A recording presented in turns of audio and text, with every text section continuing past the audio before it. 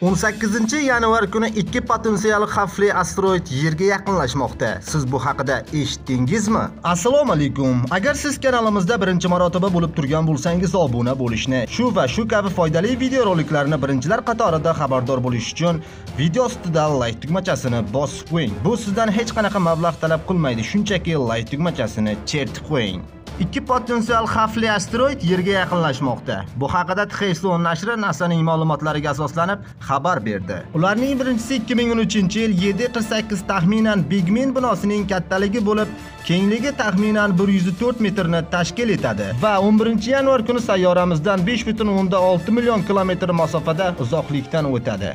Ikkinchisi 7482 748 Amerika Imperis State Building'dan 2 barobar katta. U 18-yanvar kuni Yerga 0.013 astronomik birlik masofada yaqinlashadi. Bu NASAning Yerga yaqin obyektlarni o'rganish markaziga ko'ra yaqin yondashuv hisoblanadi, deyiladi xabarda. Manba Xabarus